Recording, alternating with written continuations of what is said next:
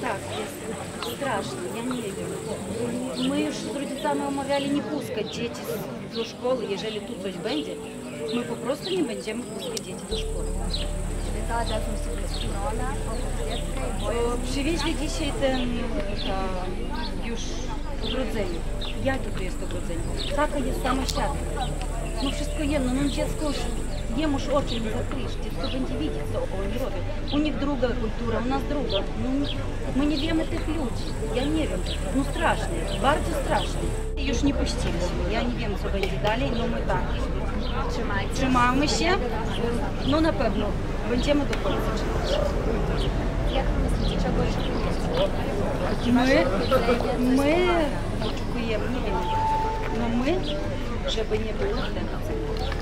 Ну було іншиство. Э, не может быть ни той обрізання, не може бути ніякої саубліти, ні івшиство. У нас такий настрій, такий житок не може бути. До кінця з силами, як можемо, як можемо так.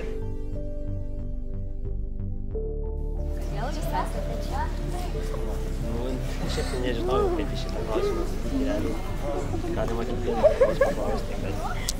Čia esame už tai, kad gyveniškas būtų laisvas visų pirma.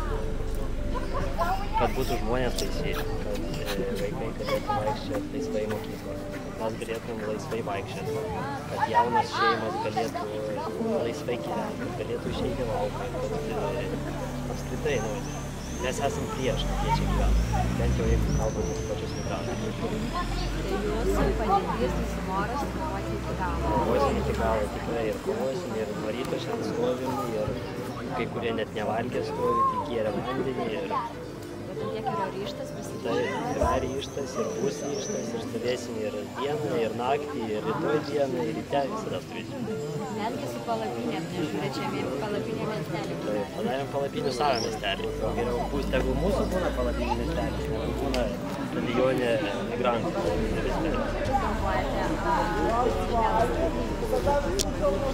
Žiūrint apie ką kalbam, kas atsižvelgti turėtų. Jeigu kalbant apie žmonės vietinius, vietiniai tikrai žiūri tikrai pozityviai žiūrės, žiūrės teigiamai. Kalbant apie valstybę, nežinau kaip čia pasakyti, valstybė, tai bent jau kai kurie, kurie šiandien buvo Seimo nariai atvažiavę, buvo keli, kaip galima pasakyti, buvo tikrai maladės. Galima taip neteikti, nes buvo už mus, nebuvo palaikymus, nebuvo prieš kalbėjo tiek su atstovais, kurie bandė įsiveržti į Žemės ūkio mokyklą, kurie norėjo kažkokius savo daiktus pasiimti, nors iš tikrųjų ten buvo spina užrakinta. Šiaip tai, nu, stovėsime paskui. Pasiryžęs tikrai ne vieną kartą pasikartoju. Taip, taip, mes bandom vis skambinti daugiau, kad visi kiti draugai atvažiuotų. Bet pažįstami, kad šalčiai atvažiuotų žmonės, tiek draugo klasiokai, tiek mano klasiokai buvę ir iš Vilniaus žmonės. Nėra problema, tiesiog pastovėtum čia visi už tai, kad iškovoti savo laisvę. Vat pastovėjom porą valandų, atvažiavo sunkvežimis su tvorom, bet teko, teko išvažiuoti, teko apsisukti, buvom ir prieš policininkus, nors, nu, aišku, taip keista galima daryti. Bet ir policininkai buvo prieš mus, bandė ir laužtis, bet nieko nepavyko. Tiesiog tai iškovojant. Bent jau pirmam, tai bent. pirmam, tai tikrai iškovoti. Ačiū. Šiandien šeši ekipažai atvažiavo. Tai kaip jie rūpinsis vietos gyventojais, kaip mums e, elgtis, e, netgi jeigu čia kažkas bus apgyvendintas, tai nežinau, saugumo visai nėra iš tikrųjų. Gyventojų susirinko jau, aišku, dalis tai išsivaikščiojo, pasilieka, pasilieka stipriausiai, ištvermingiausiai jo. Na, mes tikrai pasiryžę neleisti tos situacijos, kad visų pirma, kad niekas čia neprasidėtų. E, Mes nuo tos, tos problemos mes e, norim neleisti ir tada viskas bus gerai. Taip, vieni kitus e, labai palaiko, va, e, mes metėm visus savo darbus, ūkininkai, ūkininkai čia atvažiavo, visi miesto žmonės, Nesgi visi, visi va, e, daugiausiai dirbom mieste, kažkur, nu, ne, ne gyveniškėse. Čia vietos gyventojai turi, turi kažkiek darbo savo, ten ūkinių kažkokių darbų ir taip toliau. Bet daug kas dirba mieste, aš taip pat. E, Ir na, mes metėm darbus, atvažiavom, nes šita problema yra mums labai aktuali ir, ir mes turim parodyti savo poziciją, nes kas dar, jeigu ne mes. Čia mūsų gimtoji žemė, mes čia visi užaugom, e, čia mūsų protėviai guli, E, šitas e, kraštas mums yra labai brangus ir mes e, turim e, pasakyti savo nuomonę. Jeigu, jeigu mus neinformuoja ir visai nesiskaito.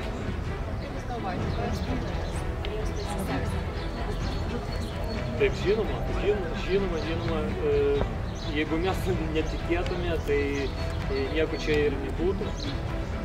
Mes e, tikim vienas, vienas kitų, va, sėdim, netgi, na, nebuvo laiko, kada atsigerti ir pavalgyti, mes visi stovėjom drauge ir laikėm šitą poziciją savo. Я очень тоже переживаю, потому что здесь живет тоже моих очень много близких родственников, у которых есть дети, у которых ходят дети в школу. Тяжело представить, что будет, да, потому что очень много все слышали, знают, что происходит в Европе, в Германии, в Франции, в других странах, когда ну, люди европейцы, привыкли всех принимать под твердыми объятиями, и никто не ожидал, что будет так, что будут насиловать, да, вот, ну, там, про убийство я, конечно, не скажу, не знаю, да, но вот очень, очень много таких отголосков. И там как бы территория, она больше густо заселенная, да, там, может быть, с полицией больше, они не справляются, да, здесь мы живем в таком уголке, вот, много раз говорила, что у нас нет ни полиции, нет ни охраны, а в двору ничего нету, да, то есть сами защищайтесь как хотите, делайте что хотите, неважно, что будет с вашими детьми, вот, то есть если что-то случится, то есть это уже будет постфактум какая-то проблема, да, и, ну, vaikų teisės nereaguoja, Боитесь niekas. этого, что вот нету поддержки? Нету, ну, не то, что поддержки, да, и поддержки нету, ну, то, что вот это все по, по- умолчанию засекречено, да, то есть, да, вот мы тоже одни из первых узнали, вот начали друг друга переспрашивать, слышали, да, вот здесь Сунини, вот они знают, да, они на как раз в тот же день вот петицию подготовили. Э, Сама лично в первый день, как узнала, бегала вот с сыном до 10 вечера по, по улицам, собирали первые подписи.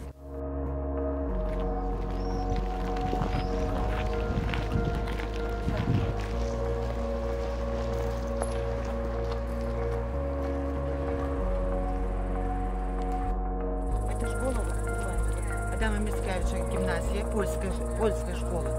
Здесь когда-то я работала. Здесь учились мои дети, один э, и сын и дочка. Рядышком ги- э, гимназия Рита, Древлянишка Рита гимназия. И сразу же э, корпус, где хотят заселить иммигрантов. Вот почему мы и против, что здесь рядышком две школы, а немножко дальше, метров ста, идет детский садик. И там вообще жилые дома. Радышком сразу. Все жилые дома. 10 домов по 8 квартир. Представьте себе.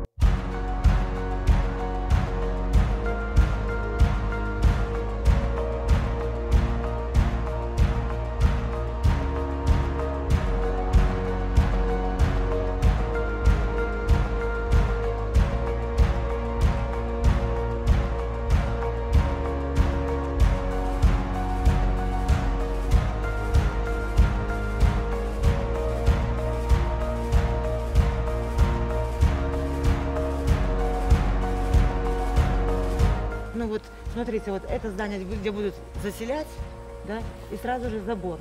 А за забором сразу идет э, жилой дом, и сразу наши дома жилые такие. naktį atėjo 18 migrantų, išsikvietė sūnus pasiskambino, atvažiavo sūnus, iškvietė policiją, iškvietė vat, šitos pareigūnus, tai apie antrą sūnus atvažiavo pas mučiutę, pas, pas, pas mamą nakties, pareigūnai tik tai apie 7 ryto, tik tai su- sureagavę atvyko į vietą įvykių. Ar galėtumėte trumpai pakomentuoti pirmadienio jūsų išvyką? Na, mes e, išvažiavom prie VRM ir uždavėm savo rūpimus klausimus, pilotatė rūpimus klausimus dėl mūsų, kodėl mūsų neinformavo ir mes sužinojom tik tais iš televizijos. Nebuvo nei rajono valdžia informuota, kad čia planuoja steigti pabėgėlių centrą. Nei seniūnė, niekas. Tai tiesiog, nu, kaip ir vos ne tokiam plėtkų lygiai mes sužinojom, kas čia bus. Ir sužinojom, tiesą pasakius, tokį, nu, kaip ir baisų dalyką, nes čia yra tik tais 500 tų gyventojų ir nori apgyvendinti pradžia nuo 500 pabėgėlių iki 1500. Čia nėra žodžių, nėra žodžių. Žiauriai didelis kiekis. Lietuvoje yra 60 savivaldybių. Tai tegul jie išdalina po biškį kiekvienoje savivaldybėje. Mes dabar matom, kas yra Alytui, kas Ignalina.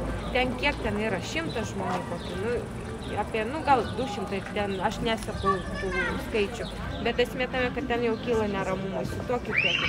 Bet ten daug daugiau gyventojų. O pas mus čia gyventojų mažuma ir čia planuoja pusantro tūkstančio gyventojų, migrantų. Kaip ir minėjau, kad daug mažiau bus Taip, gyventojų pačių taip, taip, taip, taip.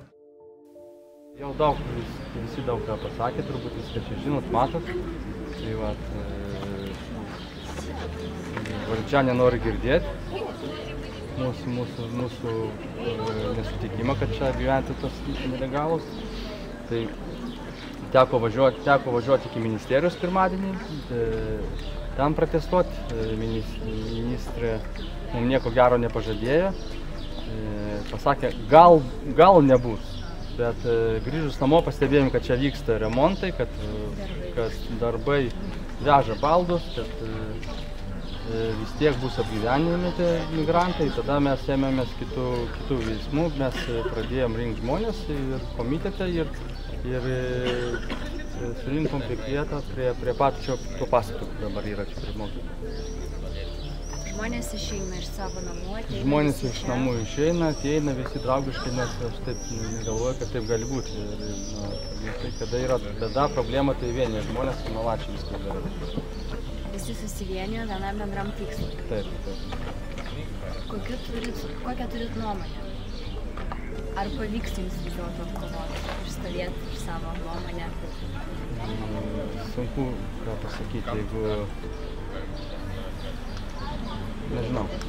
Aš galvoju, kad jau matom šiandien rezultatą, kad atvažiavo mašina su, su, su medžiagom ir išvažiavo atgal. Tai jau čia yra kažkoks, jo, jo, kažkoks pirmas laimėjimas yra. Tai žiūrėsim, kas bus rytoj. Aš galvoju, kad šiandien buvo daug žurnalistų, daug buvo sukurta reportažo, tai dabar teks pagalvoti, toj pačioj ministerijoje, ką čia kitaip kažką daryti. Gal, gal atvažiuos atstovai rytoj, gal nu, nežinau. Nu, mes taip norim, kad jo, kad aplamai nebūtų, nei, nei laikinai, nei, nei pastoviai. E, Taip mes norim. Kai bus laikas parodys.